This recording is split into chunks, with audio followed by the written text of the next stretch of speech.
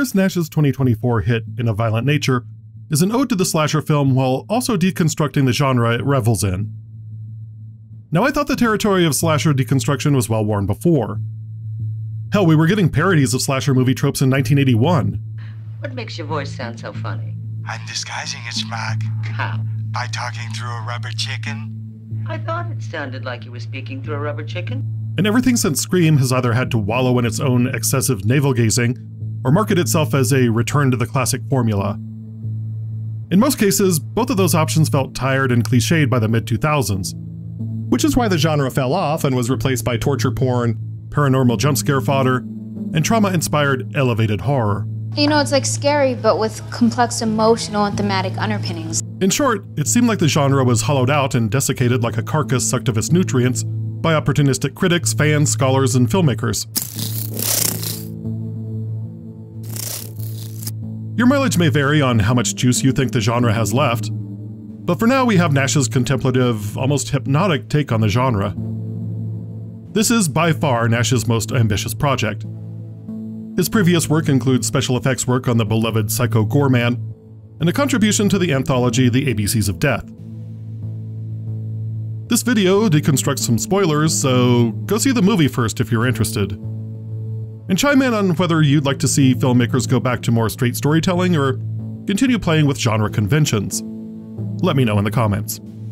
If I were to sum up In a Violent Nature in one sentence, it would be the Otto meme from The Simpsons where he asks Marge and Lisa if they have any books written from the vampire's point of view. In this case, we're following a Jason Voorhees expy named Johnny, and it's very obvious that this is post Jason Lives Jason Voorhees. A campfire tale gives us the lore. Johnny was an intellectually disabled, see how hard was that, young boy who hung around the North Ontario logging company where his father worked. Johnny was killed after a cruel joke and a mishap, but every now and again he returns to kill off the loggers. The only thing that keeps him at bay is his mother's locket, which is conveniently stolen by the doofy Trent character in the opening shot of the film. This causes Johnny to rise and go on a murderous backwoods killing spree. The trick of the film, though, is the premise that we're following Johnny as our point of view character through most of the film instead of following the teens. In a normal Friday the 13th movie, which I'm just going to refer to this as because it is so clearly a Friday the 13th movie. And Nash compounds those comparisons by shooting the film in 4x3 to mimic the way most of us saw the Friday series, not in theaters, but on VHS. In a normal Friday the 13th movie, we'd get a scary opening to establish that there's danger in the woods and then cut to our fresh crop of nubile teens coming in for sex and slaughter. Instead, we just settle in for an over the shoulder shot with crunching, flies, and heavy footfalls as our only auditory companions for most of the film. There's not even a Harry Manfredini score.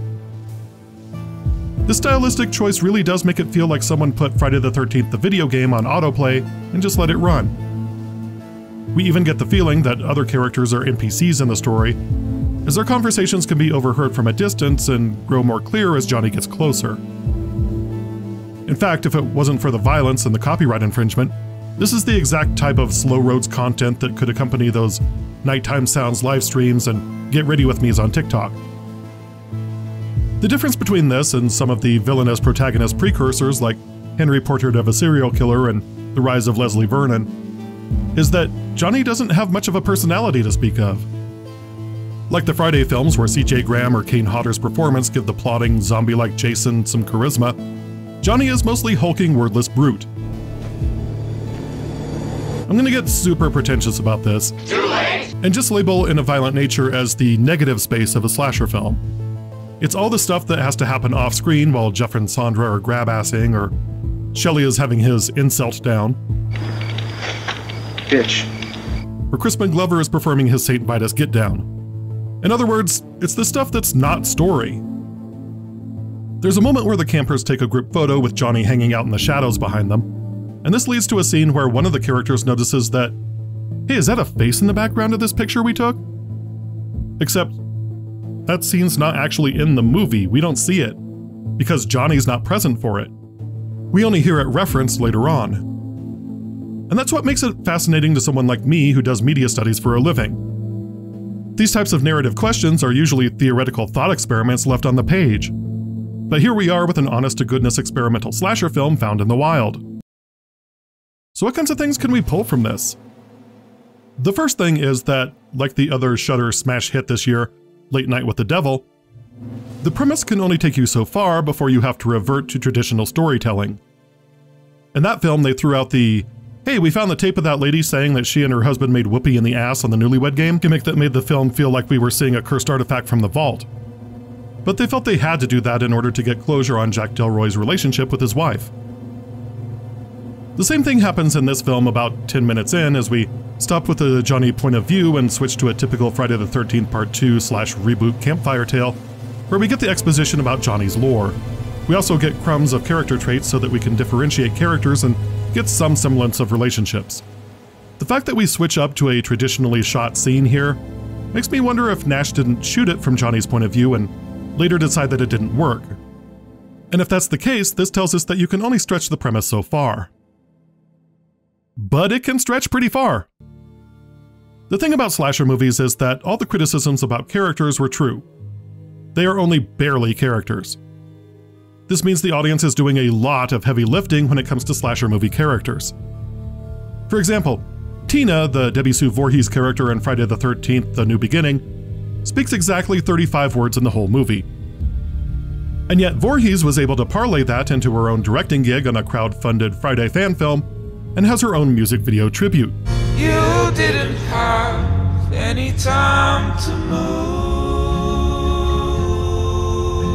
Granted, she played the part they were asking her to to perfection and is quite memorable for those of us who are of a certain age.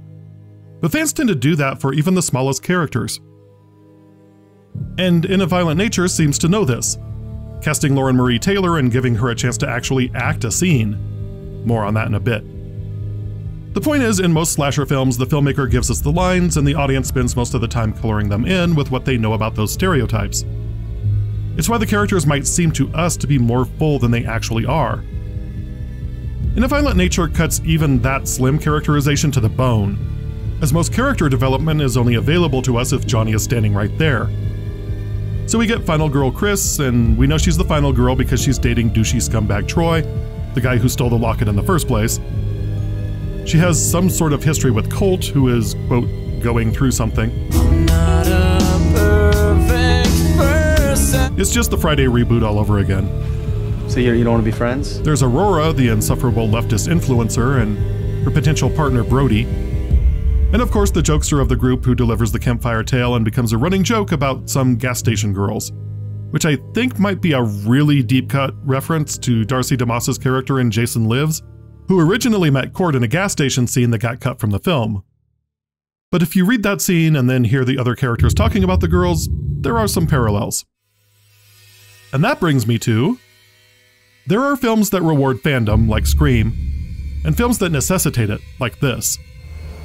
In the theater I saw the film in, a woman grabbed her two children, who appeared to be maybe 8 and 11 years old, and stormed out decrying the movie as stupid.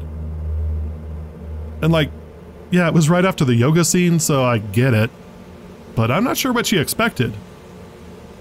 In the post VHS era, pop culture isn't just a set of IPs or technology delivery devices. Pop culture is its own language. It's why memes work or don't work. It's why, if you've never seen a Friday the 13th film, you don't know what the hell I've been talking about. In a pop culture economy, fan knowledge is currency. And films like In a Violent Nature are like when Disney opens a new theme park for you to spend that currency. If you don't know, then Lauren Marie Taylor is just a woman they hired to show up at the end. If you don't know, you don't understand the slow, lumbering performance of the killer. If you don't already know, you probably have no idea what the point of the film even is. This one is more of a personal lesson for me, and it's something I realized about myself while writing the Late Night with the Devil essay. I'm not a big fan of violence, it turns out. I know, weird. I run a horror channel. But I watched my first Friday the 13th movie at 5 years old, much to the horror of my mother, who found out after the fact. But it didn't matter, I was hooked. But I wasn't hooked by the sex or the violence, like most curious kids are. It was the danger. The violence was necessary to establish stakes, but after that, I was more concerned with the characters avoiding the violence. That's why I love The Blackening so much, and why the original Scream is one of my favorites. The people I cared about, sorry Tatum, survived the ordeal. I don't want to see violence, and when I do, I mostly just wonder how they did it. And now, after about a billion Tom Savini explainers in the special features, I think I'm good. But what really drove this home for me was the infamous yoga kill. It is gross and sadistic, but there doesn't seem to be any reason for it other than the filmmakers wanted to throw some red meat to the gorehounds. Also, the character Aurora probably has like five lines during the campfire scene, and three of them sound like the writers asked an AI to produce social justice speak. So maybe having her have a particularly harsh kill is a sort of dog whistle. At any rate, my reaction was that of a lightly toasted parent ignoring their kid's look at me antics on the diving board. Look, I'm pulling her head through a hole in her chest, look! That's nice, sweetheart. You make sure to wear sunscreen.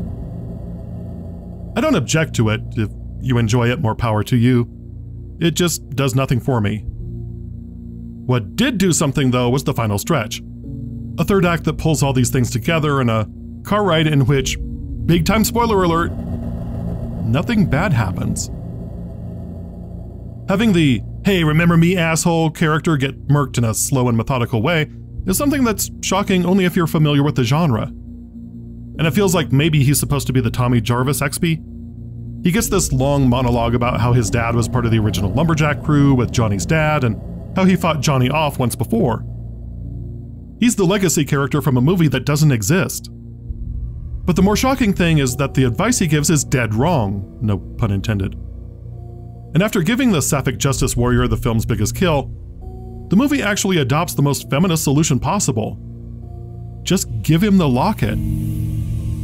Chris, the final girl, winds up with the locket and suggests they just give it to Johnny since that's what started the carnage in the first place. And Ranger Bob tells her that that won't work. He has to be buried in the same site, and there's a whole ritual and gasoline, and it's a whole thing.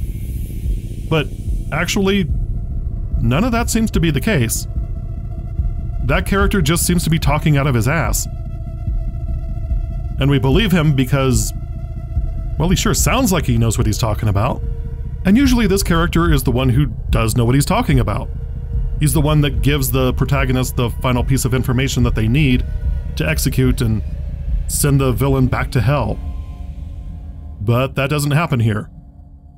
After Johnny turns the tables and kills both of the men who are left over, Chris just leaves the locket behind and runs. And runs. And runs. And we keep waiting for him to jump out at her a la Friday the 13th Part 2 or for her to get lost and trapped in a cabin or a ranger station for the big showdown, and that just doesn't happen.